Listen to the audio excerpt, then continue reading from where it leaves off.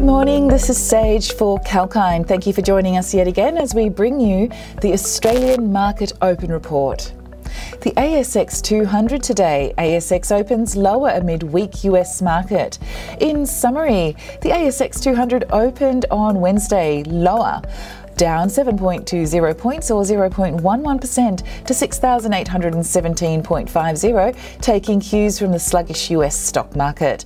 The top performers in the index were Nearmap Limited and Fortescue Metals Group Limited, up 4.61 and 4.03% respectively.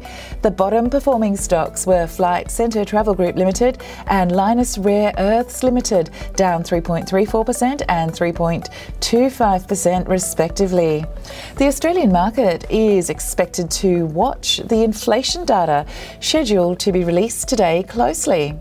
According to experts, the inflation may surge by 0.7% in the fourth quarter of 2020.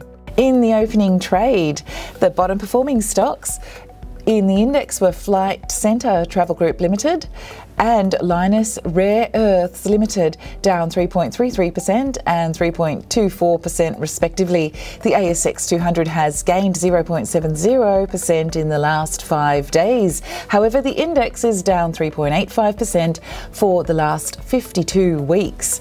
The broader All Ordinaries Index was up 0.459%, and the ASX 200 VIX Index was 2.646%. In gainers and losers, the top performers in the index were Nearmap Limited and Fortescue Metals Group Limited, up 4.61 and 4.03% respectively.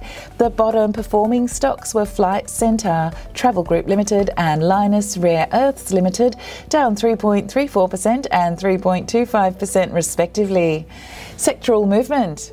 While the ASX 200 Consumer Discretionary Index was up 1.175%, the ASX 200 Information Technology gained 1.063% in the opening trade. The ASX Dividend Opportunities Index was also up 1.008%. The ASX 200 Energy was down 1.207%, while the ASX 200 Industrials was lower by 0.934%.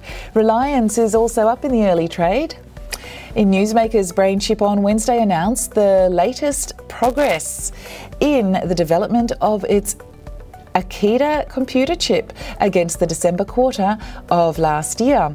The company's operating cash flow surged to 2.7 million US dollars. On the other hand, Orocobre recorded 58% sequential growth in lithium production on account of surge in demand in the market.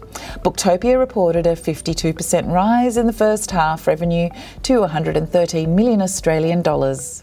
Thank you for watching. This is Sage for Kalkine.